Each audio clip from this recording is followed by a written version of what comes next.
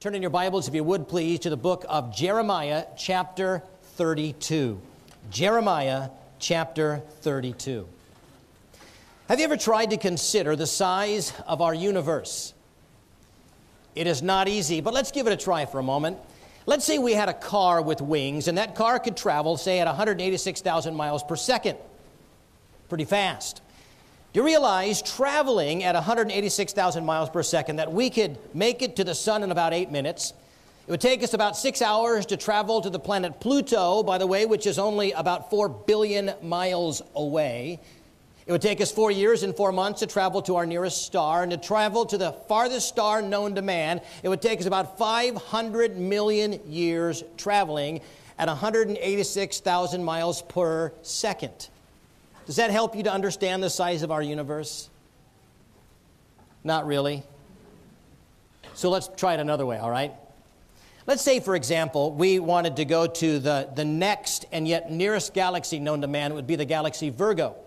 Now, Virgo is only about 50 million light year away. Did you hear that? 50 million light year away.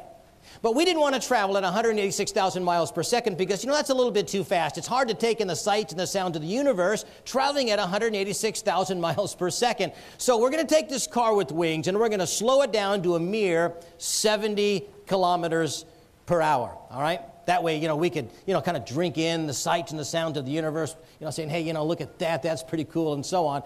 Hey, but you realize traveling at 70 kilometers an hour to, in order to get to Virgo, it would take you 12 million years to travel one light year. Which means you would still have about 40 million plus light year left to travel. Does that help you to understand the size of our universe? You probably see no. And rightly so, because you know that our, our universe is so vast, it is so grand, that it is literally beyond human comprehension. But here's the point Do you realize that our God spoke all of that into existence? Which reminds us that our God is a God of great and mighty power, that He is a God of infinite, unlimited power. And yet, do you realize that there's absolutely nothing that that God can't do? In fact, the Bible is constantly reminding us that this God, our God, yes, is a God of infinite and unlimited power. And when we by faith trust that God, we will discover in our own life, our work, and our own ministries that there's absolutely nothing too difficult for Him. You know, when we come to this passage here in Jeremiah chapter 32, we find Jeremiah in prison.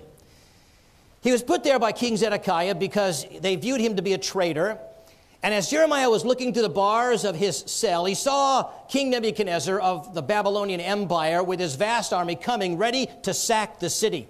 And Jeremiah, that prophet, knowing that within a few days the city of Jerusalem would be totally destroyed, it would probably set ablaze, the possessions of his people would be drawn away, and the people would be led into captivity. Probably, without a doubt, a low point in Jeremiah's life. Could you imagine this great prophet of God called, you know, to bring the people in a living relationship with God, seeing his beloved city and seeing his beloved people about ready to be destroyed? And it was at this low point in Jeremiah's life that the God of heaven came to Jeremiah and gave him these encouraging words found in Jeremiah 32 and verse 15. Listen to what the Lord said. For thus says the Lord of hosts, the God of Israel. He says, Jeremiah, I want you to know something. He says, as you look through those iron bars and you look in the city of Jerusalem, you see utter, utter destruction. You see your people being scattered, utterly destroyed, but I want you to see something. I want you to know something. I want you to know what I know that houses and fields and vineyards shall be possessed again in the land. In other words, Jeremiah, this may to you look like a hopeless situation, but it's not.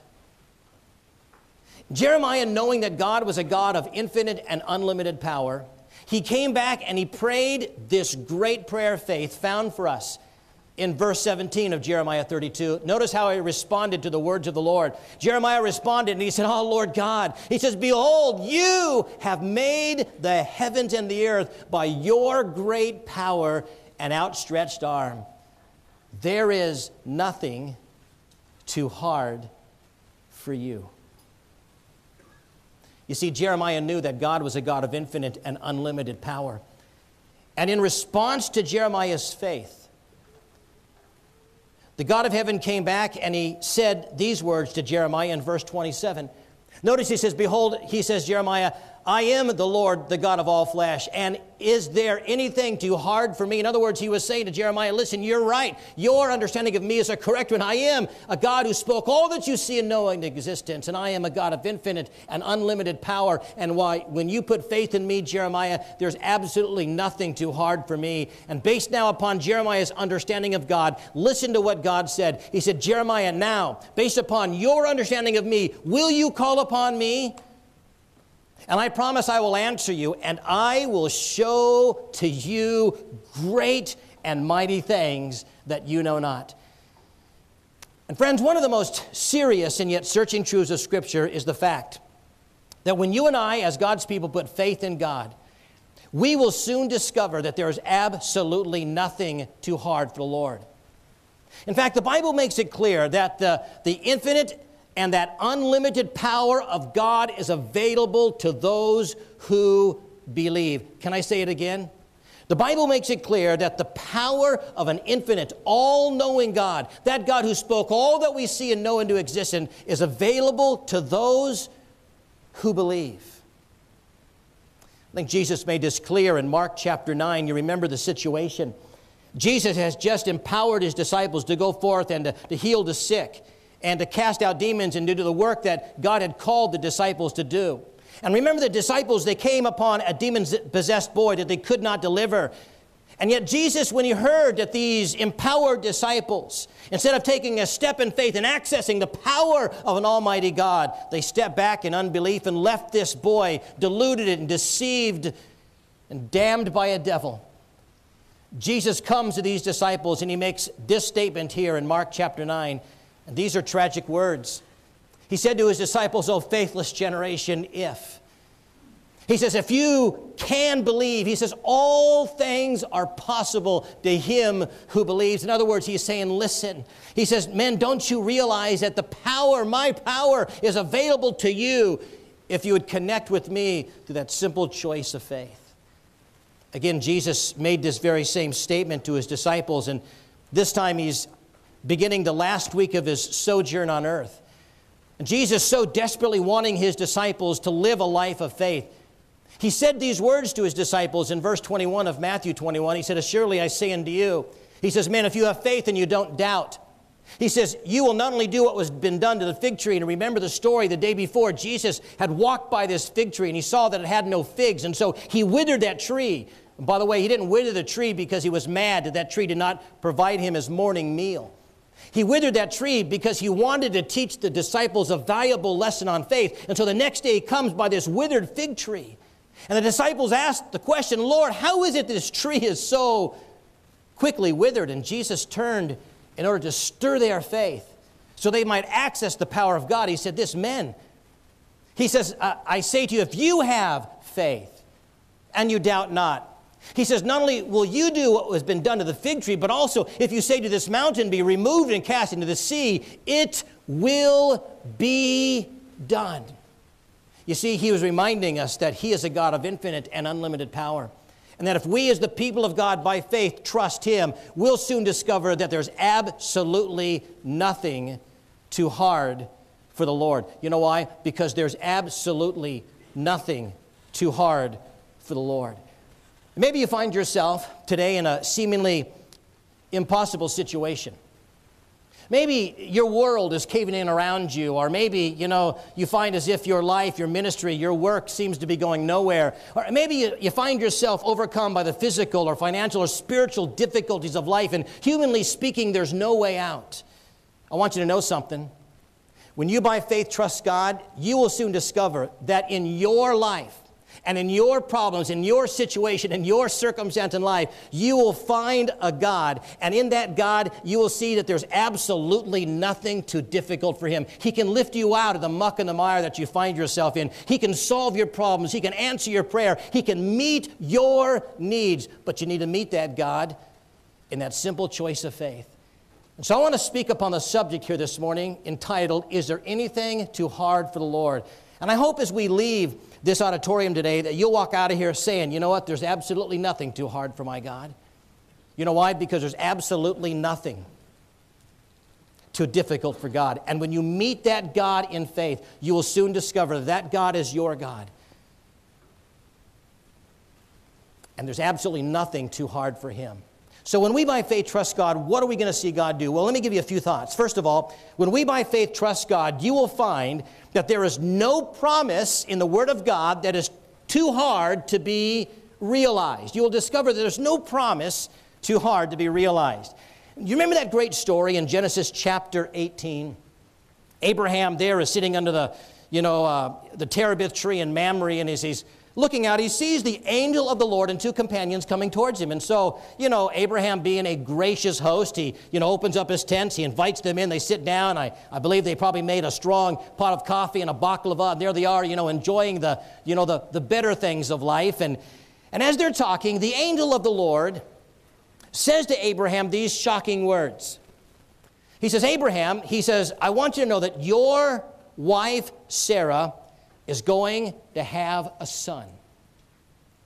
Do you realize that those words must have rocked Abraham's world? I mean, I mean, just put a, put, putting back reeling because you remember Abraham was 100 years old and his wife Sarah was 90 years old. Their body were beyond child producing age. And, and Sarah was hiding behind a curtain and she was kind of listening to the conversation of the men. You know what I mean, ladies?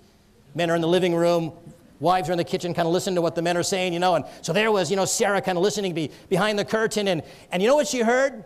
She heard the angel of the Lord say, Your wife Sarah is going to have a son. And the Bible says that Sarah laughed. And you know that this was not the laugh of a schoolgirl, it wasn't just a mere giggle, you know. This was the laugh of unbelief. I mean, she was saying, Come on, give me a break. You gotta be kidding. Do you think I was born yesterday? I'm 90 years old. My body is beyond, you know, the child producing age. Give me a rest. This is not gonna happen. But you know what Abraham and Sarah fail to realize is that which is impossible with man is possible with God. So the angel of the Lord, seeing the unbelief and the doubt of this Abraham and Sarah said these words found in Genesis 18 and verse 14. He said, Is anything too hard for the Lord? And the answer to that question is no.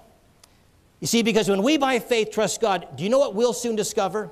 Listen, we'll discover in our own life, as Abraham and Sarah discovered, that there is no promise too hard to be realized. Hey, God is a God who keeps covenants with man. God makes us promises. In fact, do you realize in the Bible there are over 8,000 promises that God has made with man? And these promises, every one of them, they are to be claimed by faith. In fact, we read in Hebrews chapter 11, that great hall of fame of faith. And we see there the ex- exploits of the great men of the past, Abraham and Moses and Elijah and so on. And the Bible says in Hebrews 11 and verse 33 that these men and women, through faith, they obtained promises. You see, God has made us promises. 8,000 of them in the scripture. He's made a covenant with man. And God expects us to claim these promises by faith. In fact, it was Charles Spurgeon who said, I have thumbed my Bible a many a year and I have never yet thumbed a broken promise. You know why? Because God doesn't break his promise. God keeps his word. But we need to stand upon that promise by faith, and we can trust a faithful God to fulfill his promise. And when we stand upon that promise in faith, hey, we will discover that there is no promise too hard to be realized. I hope you have a, a promise that you stand upon. Do you have, a pro- do you have promises that you hold on to? Guys are as quiet as the first service. I do. It's found in Philippians 4 and verse 19. And it says this it says, My God shall supply all of your needs according to my riches and glory by Christ Jesus. All right? God says He promises to meet our needs. And you know, based upon this promise, my wife and I, we do what we do. We minister based upon this promise. Everything about our work and our life and our ministry is based upon this promise that God, you will meet our need. And without ever asking man for help, God provides our needs to do what God has called us to do. And do you realize, standing upon this promise, We have seen God provide the needs of others through us based upon this promise of Philippians 4 and verse 19 My God shall supply all of your needs according to his riches in glory by Christ Jesus. God is in the business of meeting needs. Are you with me? I think you guys need a story. Do you need a story? I'm looking at you and you guys are going, hmm, story. I told the first service this is one of those messages where I could tell a thousand stories and we could preach for a, thousand, for, for a couple hours. Or you could sit there and nod like you're interested and we can do it in 30 minutes. I'll tell you a story because I want, to, I want to illustrate this great truth because it, it is true that when we by faith trust God, we will discover that there is no promise too hard for God to make real in our life. God is a covenant keeping God. He expects us to stand upon the promises and to claim those promises. When we have a need, God wants us to come and say, Lord, you've said that you, my God, shall supply all of my needs according to your riches. You see, God wants us to come and stand upon that promise. He wants us to trust Him. God wants to show you that He is a covenant keeping God. He's a God who meets needs. Several years ago, my wife and I were in the country of Myanmar and we were preaching the gospel. And uh, we entered into a wonderful moving of the Holy Spirit where literally hundreds of people were being saved. Now, we didn't start this revival, we didn't pray about it, we just kind of entered into it, and, and hundreds of people were being saved. It was a moving of the Spirit, went on for an entire year. Every night, tens of thousands of people would gather together, and hundreds were being saved. So many people were saved throughout the year that they did not have a building large enough to house the converts. And so at the end of our stay, they took us to a piece of land, the leaders of that movement, and they showed us a piece of land that they just bought. And they said, We want to construct a 3,000 seat auditorium to house the converts. And I was moved by that. I thought, man, that is a cool thing. Uh, they, they need a place to meet, they need a place to worship. And so when my wife and I left Myanmar, we began to think about that and began to pray, and we felt God would have us to stand upon Philippians 4 and verse 19 and ask God through us to provide that money, which was to be about 25,000 US dollars to build that building. And so we took Philippians 4 and verse 19 and we stood upon it and we said, Lord, you've said that you'll supply our need. We have embraced this as our need and we're going to ask that you through us would provide and meet that need. About three weeks later, I was preaching in a missions conference in the United States. And after one of the evening services, a Filipino Chinese medical doctor who is now living and working in the States approached me and he says, Brother, I, he says, last night God placed upon my heart to give a sum of money to build a church. Now, I want you to know something that when I go into churches and I talk to people, I never talk to people about our needs. I never go up and say, hey, listen, we're building a church in Myanmar, and we need $25,000. Can you give me some money? Okay, I never do that. I, I don't even hint, you know, hey, you know, uh, you know, uh, things are a little bit tight this month, uh, but we're praying about it, you know. Uh, you know, I, so I'm not in the church making hints. I'm just preaching the gospel. And the guy comes to me and he says, You know, last night I was praying and the Lord put a sum of money upon my heart and he wants me to give money uh, to build a church building. Do you have a need like that? And so I looked at the man and said, No, I'm sorry. We don't have a need. I don't know anything about building churches. I'm just kidding.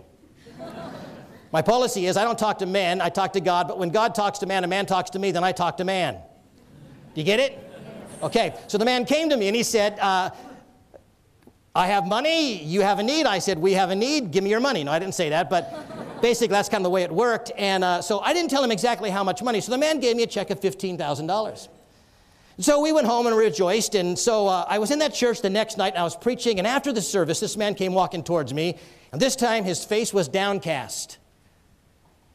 And I thought to myself, I've been doing this too long. I thought something's wrong. He's going to want his money back.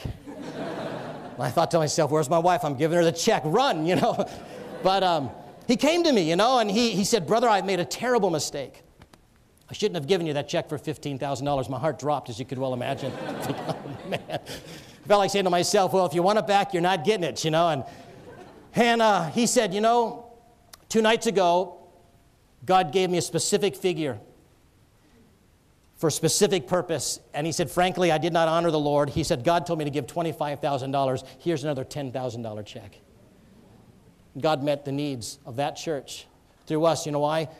Because when we by faith trust God, we will soon discover that there is no promise too hard for God to realize. God is a covenant keeping God, and He expects us to take a promise and to stand upon it, to stand upon it. God cannot lie. He'll keep his word. And he said, I will meet your needs. Let me ask you a question. What's your need today? Now, notice he didn't say, What's your greeds today? He's not asking, What are you wishing for and hoping for? No, he's saying, What is your need? And God says, You bring that need before God and say, God, this is my need. I mean, it may be physical, financial, spiritual. God says, Come. And you bring that need before God and by faith trust God to do what God has promised to do. And you will see that God of infinite, unlimited power make that promise real in your life. So when we by faith trust Him, first of all, we'll find that there are no promises too hard for Him to make real. Second of all, we'll also discover that there's no problem too hard to be resolved. God is a problem solving God. I love this verse. It's found in 1 Peter 5 and verse 7. The Bible says that we are to cast all our cares upon Him because He cares for you. Isn't that a great verse? God says, Cast your care upon me because I care for you. And He's speaking to you individually. And one thing is absolutely certain God loves to solve our problems. He does you remember in the Gospels, Jesus had been teaching the 5,000? And he'd been teaching them all day long, and, and evening time came, and as it was evening, the disciples sensed that the people were a little bit hungry, and so they came to the Lord and they said, Lord, these people that you've been teaching all day and now into the evening are a little bit hungry. Lord, uh, let's send them into the village that they might get something to eat. And Jesus turned to his disciples, and remember what he said? He says, No. He says, Don't you send them away. He says, You get them something to eat the disciples now had a problem on their hands. You know what I'm talking about? 5,000 people to feed. And so when they gathered up all of the fragments, they found they had five loaves of bread and two fish. They had a problem. I mean, they had 5,000 people and they had not enough food. So what did the disciples do? Well, John didn't come to James and say, Hey, James, I realize that you have a better credit limit than I do. Can I borrow your visa? You know, uh, he didn't go to Matthew and say, hey, Matthew, uh, you're the man with the plan. Go to your tax collector friends and, you know, tell them that we have a need and so we need a low interest loan for a short period of time. They didn't do that. What did they do? They brought the problem to Jesus. And it's interesting. They, they came to him and they said, Lord, here's the problem 5,000 people, five loaves of bread, two fish. And what did Jesus say to the disciples? He said, Bring them to me. In other words, bring the problem to me. What was the problem? Not enough food for the people. Bring the problem to me. And so they brought to the Lord the five loaves and the two fish. And what did the Lord do? We know the rest of that story. The Lord, in a wonderful way, He met the needs of the people. He solved the problem. Why? Because our God is a God who loves to solve our problems. And friends, when we by faith trust God and we bring our problems to Him, do you know what we'll discover? We'll discover that there's no problem too hard for God to resolve. He is a problem solving God, but we need to bring the problems to Him. Can I ask you a question? What's the first thing that you do when you're encountered when you encounter a problem in your life? What's the first thing? I know what most of you do. You do? Yes, I've been spying on you. No, I know what you do because you do what we all do. What? Hey, the moment a problem comes our, into our life, the first thing we do is we try to solve the problem. We're wired that way, right? I mean, that's our DNA. We're wired to solve problems, especially men. Ladies, Men are problem solvers. Remember, you know, you come home from work and your husband come home from work and, you know, and you're just, you know, you're frustrated by the day and you're just pouring out to your husband, you know, and you're telling him all the problems and halfway through before you can get done, he stops you and say, I'll tell you, here's how you solve your problem. And then you get angry. You know why? Because you don't want him to solve your problems. You want him just to listen. But men are problem solvers, right, men? Men, help me out here. Yeah, okay. Men are problem solvers. They want to solve problems, but like, you know, in the same way, ladies are problem solvers. And so when the problems of life come, the first thing that we want to do is we want to solve it. We sit and think and we say, hey, this is what I need to do. I need to do this. I need to do this and I need to do this. And we get all stressed out. And you know the first thing that we should do? We should bring our problem to the one who can help. First thing that we ought to do is bring the problem to He who is an infinite God with unlimited power and say, God, I don't know, but you know. Will you solve this problem? I remember reading this week a story about a, a man by the name of Ashton Smith who was kayaking in a river in southern France. And as he was going over some treacherous water, his kayak capsized and he fell into the water. And as he fell in the water, one hand grabbed onto the kayak and the other hand to his hand phone. And there he is holding on to his kayak and his hand phone. Know what the first thing that he did? He was 33 years old, a professor, lecturer at Cambridge University. Do you know what this man did? He called his father. And it didn't matter that his dad was 3,500 miles away in Dubai training British soldiers. He called his daddy. And his daddy immediately relayed his message to the Coast Guard nearest to him, and within minutes, they had a helicopter that plucked this man to safety. And I'll tell you what, friends, when the problems of life come, we need to remember the kayaker. And the first thing that we need to do is we need to call our Heavenly Father. You know why? Because the Bible says He cares for you. And when we by faith trust Him, we will discover that there is no problem too hard for God to solve. You need a story, I can tell tell you a story. A few years ago, my wife and I were in India and we were preaching for uh, an Indian church. We were doing kind of a revival camp for them. And, and as we were traveling, the, the pastor of that church had borrowed his brother in law's camera. I've told this story before and I hesitate to tell it again, but I will because I think you need it right now. Well, anyway, the Indian pastor had borrowed his friend's, his brother-in-law's camera, and he was terrified to borrow it because uh, his brother-in-law was not a believer. He didn't want to loan it to his brother, but because of family, he did. And if he had lost the camera, it would be way too much for this man to replace. And so it was kind of his prized possession, and he held on to it. Nobody else could use it. And, and as we were traveling, we stopped one night to take some pictures of an area. We slept in a hotel that night. When we got up to leave the next morning, as we were boarding the bus, the pastor realized that his camera was missing and he was horrified. We all got back off the bus and, and we began to think, what are we going to do? And he says, well, let's retrace our steps from yesterday. And, you know, so we ran around the city for a couple hours looking for this missing camera to no avail. We came back together about two hours later. There we are in the lobby of the hotel and we're sitting there thinking, oh, you know, what's going to happen? And I was kind of bummed out about it all because, you know, I was preaching to this people and all of a sudden this, this put a terrible spirit on the entire week. I'm thinking, you know, what a, what a bummer. Going to go into a revival camp and everybody's going to be thinking about that poor missing camera. and so, as we're sitting there thinking, what are we going to do? Somebody had a bright idea. In fact, it was my wife. She said, Let's pray.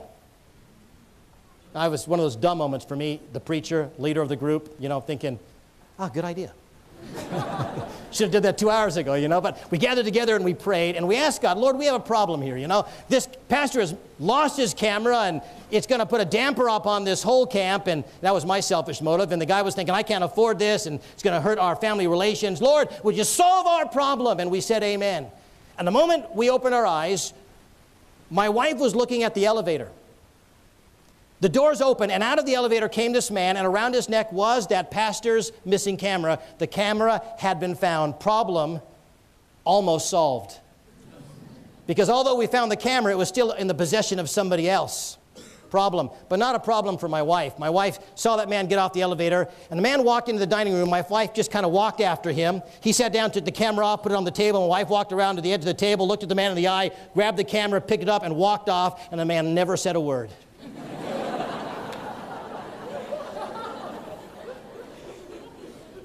Problem solved.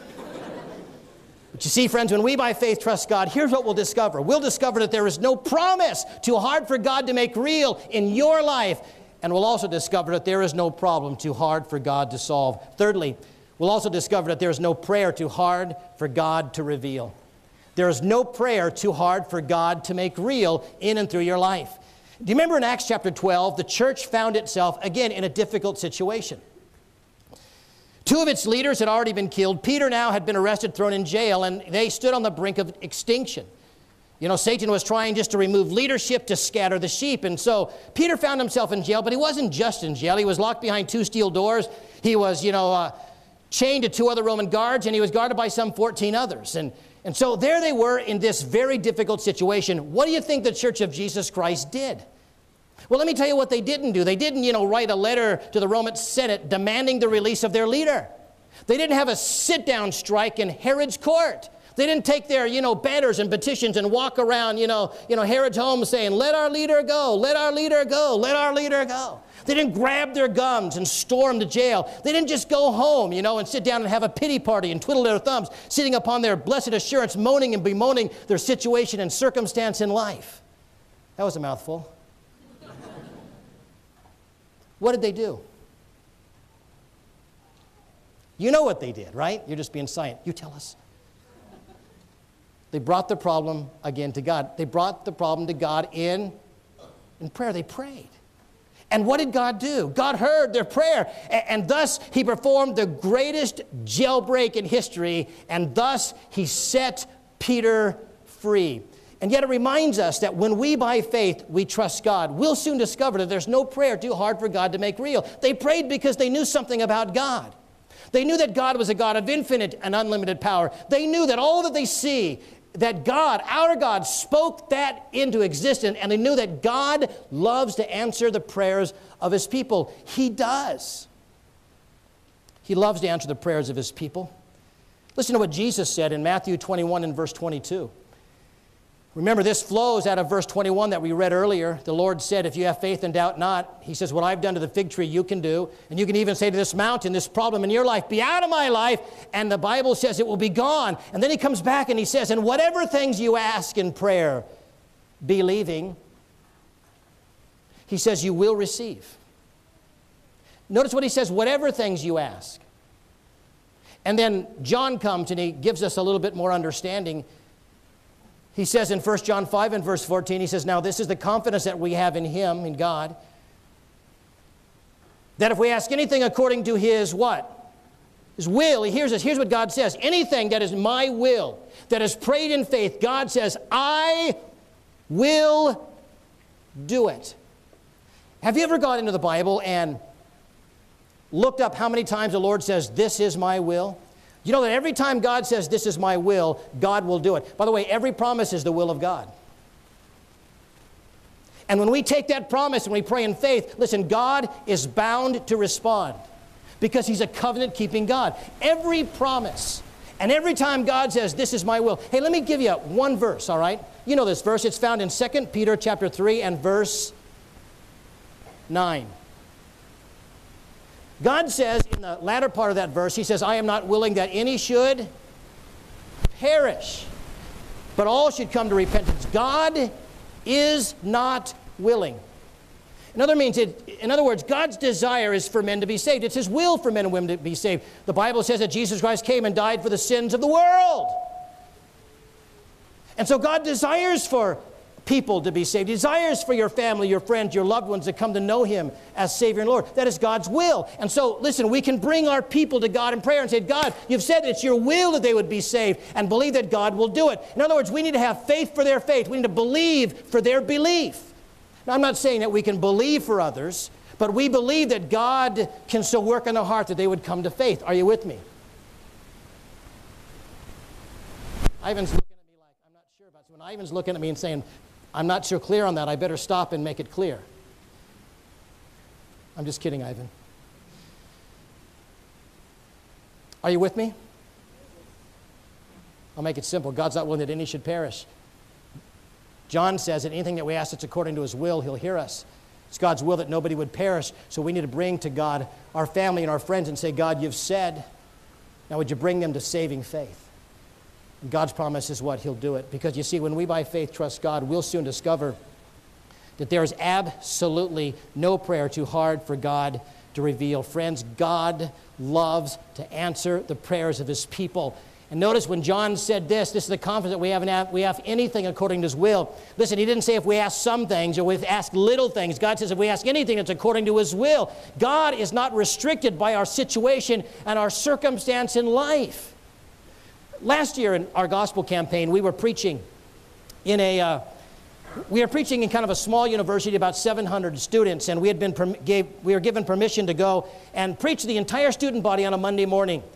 When we arrived on Monday and, Monday and we went into the uh, administrator's office, the administrator said to us, I'm sorry, but you can't preach today. And she began to explain why. She said, On Friday, we were supposed to have a work day, and the students were supposed to clean up the campus because on Tuesday, the area administrator is going to come down and the campus needs to book, look nice. But it rained on Friday, and so our students couldn't go outside and work, and so we had to change the workday to Monday. She said, I'm sorry, I couldn't get a hold of you to tell you.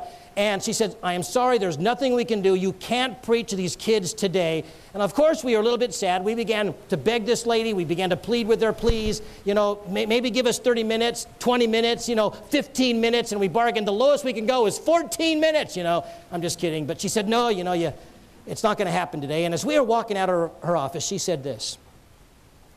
She said, The only way you can preach to these kids today is if it rains. That got our attention. So we looked back and we said, Really? And she said, Yeah, if it rains. I said, Okay. Took the team, about 15 of us outside. We walked over to our van. One of those we were pushing. Did you see those? One of those we were pushing? Was running at that time, and we gathered together and we huddled and we just began to pray and said, Lord, you have said that you're not willing that any should perish. We are here to preach the gospel. Lord, please do not let the devil win a victory on this campus today. Lord, you need to send rain. You know, the moment we said amen, you know what happened? Yes, the clouds parted, the sun came out. I'm just kidding. You're thinking, that's a terrible story. Not supposed to end that way. It began to drizzle and then began to pour. And for about two solid hours, the rain just came down in buckets. We went back in the administrator and we said, It's raining. she said, Go to it. We gathered the kids together, 700 kids, and we preached the gospel. And about 300 of those kids made public professions of faith in Christ. It's interesting, as I was driving home with the team that night, I began to think about that, and I thought, you know, Lord, I've seen you do these things before. I've seen you part clouds, bring rain, bring, I, have seen you do this. And Lord, I said, but why did you do it today? Lord, why did you do it on this campus? Why did you do it for these people? And here's what God said to me. I mean, it, it maybe been one of those audible voices of God, you know, Mike. but I'm not kidding you. Here's what he said. He said, Mike, because I love them. He said, I did it because I love them. And friends, God loves to answer our prayers. And when we, by faith, simply put our faith and our trust in God, and we trust this God of infinite and unlimited power, friends, we can trust that God says that I will answer your prayers because there is no prayer too hard for God to reveal. Because we're talking about what kind of a God? We're talking about an infinite God. We're talking about a God who's spoken to existence, all that we see. Do you think your problem is too hard and too big for your God? But He's not answering my problems. And I ask you, have you met Him in faith? Are you trusting Him? Are you standing upon His promise? Because when we do, here's what we'll discover that there's no prayer too hard to be revealed. Also, we'll discover there's no person too hard for God to redeem. That there is no person too hard for God to redeem. God is in the redeeming business, is He not? You know, humanly speaking, if there was ever anybody who was ever beyond redemption, it would have been Saul of Tarsus of a day gone by. Remember Saul? The Bible says here is a man that was dead set and hell bent against stamping out the church of Jesus Christ. I mean, he was responsible for the death of some of its early leaders. He would barge into the homes of Christians and take husbands and wives and children and drag them into, into prison where they would be beaten for their faith. And yet, this hardened enemy of the cross, one day was traveling down the Damascus Road, and there he met Jesus Christ, and his life was wonderfully transformed. And this one time opponent of Christianity became its greatest proponent, and yet its most powerful preacher, and we know him today as Paul the Apostle. And friends, I want you to know that Paul the Apostle is a reminder to us that when we by faith trust God, we can see that there is no person too hard for God to redeem. Because you see, God loves to save souls. I will say it this way God's desire is for men to be saved. In fact, Jesus told us that. Remember in John chapter 12, Jesus made this statement Jesus said, I did not come to judge the world, but I came to save the world. Jesus Christ came to seek sinners, He came to save the lost. John echoed those words when he said in 1 John 2 and verse 12, Jesus said, and he, or John said, He, Jesus, is the propitiation for our sins. That's us. He is the propitiation of our sins, and not for ours only, but for the sins of the whole world. He didn't die just for the church, He died for the world. And listen, this is what makes good news good news. It means that we can walk up to anybody, anytime, anywhere, any situation, any circumstance in life, and we can say to that individual that God loves you and Jesus Christ died for your sins. Friends, the good news isn't good news for some and bad news for others. It's good news for everybody who places their faith and their trust in Jesus Christ. And I want you to know something. When we by faith trust God, we'll soon discover that there is no person too hard to be redeemed. There is no one so sinful that God cannot save. There is no one beyond God's redeeming grace. Nobody is so blown it with God that God has cast them aside. Friends, there is salvation for all. There is forgiveness to anybody who comes to Him in faith. And humanly speaking, if there was anybody who was beyond the long reach of redemption, it would have been a man by the name of Tass Saada. Maybe you know the name, maybe you don't. He, he wrote a book that's in a lot of our bookstores today. But Tass Saada was a killer. He would kill, he'd killed Jews in Israel and, and Christians throughout the Middle East. In fact, he would oftentimes just drive by a known Christian's home and lob a hand grenade into the, into the room and blow up the house and sometimes just riddle that place with machine gun fire. He was known today as that modern Saul of Tarsus. In fact, he was far worse. His nickname was the Butcher because that's exactly what he did. He would butcher anybody who did not believe his religious ideology.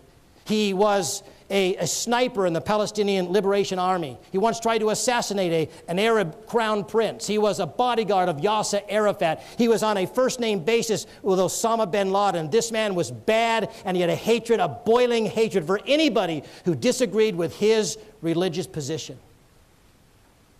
But in 1993, he was visiting an evangelical friend of his in the United States. And this man began to share with Saada the gospel, and on first hearing, he got under conviction. He believed in the redeeming love of Jesus, and there he bowed his knee and he placed his faith and his trust in Jesus Christ, and he was radically born again. And he began to share the gospel with his family. His family got saved, and he was able, able to share the gospel with his former boss, Yasser Arafat, before he died in 2004. By the way, isn't that significant? We look at a guy like Yasser Arafat and we wonder, how's a guy like that ever going to be reached? You know why? You know what? God loved Yasser Arafat. So much so that he allowed Tass Saada to be converted and to be able to go into his presence and to share the gospel with this man. God is getting his work done. Because there are people around the world that are willing to trust God by faith. Today, Tass Saada and his family serve God full time, reaching people on the Gaza Strip and the West Bank. And every time, friends, we think of Tass Saada, we need to remember that our God is a God of infinite and unlimited power. And there is nobody, there is no person too hard for God to redeem. God can save you. God can save your family. God can save your relatives. God can save your loved ones if they will simply come to Him in faith. And friends, when we by faith trust God, do you know what we'll soon discover? Yes, we will discover that there is no promise too hard to be realized. There's no problem too hard to be resolved. We'll discover that there's no prayer too hard to be revealed, and there is no person too hard to be redeemed. That's why John gave us these great words in 1 John 5 and verse 4. Listen to what he said.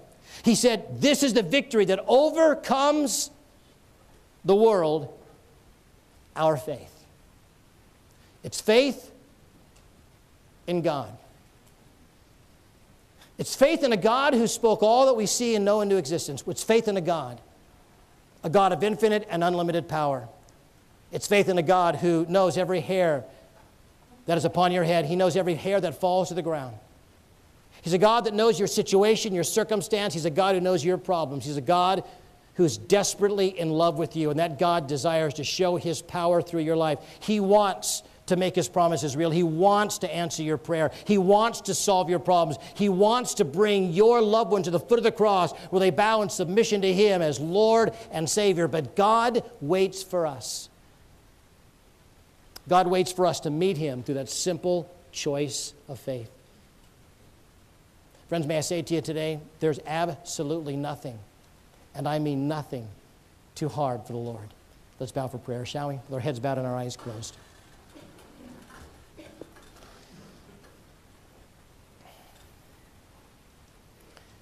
Lord, we thank you today that you're a God of infinite and unlimited power, and that there's absolutely nothing too difficult for you. And Lord, as we come to you today, we pray that you would give us an understanding of who you are and what you can do. Lord, I pray that you'd stir us, and strengthen us in our faith, that we might trust you, that we might see you working in our lives fulfilling your promises, solving our problems, answering our prayer. And Lord, redeeming those people that we know and those people that we love. Lord, stir us in our faith. Thank you that you're great and a mighty God. And we say with the prophet Jeremiah, Oh, Lord God, who made the heavens and the earth by your outstretched hand. Lord, we know that there's absolutely nothing too hard for you. Lord, meet our needs. Be glorified in and through our life. Bless your people. We ask it in Jesus' name. Amen.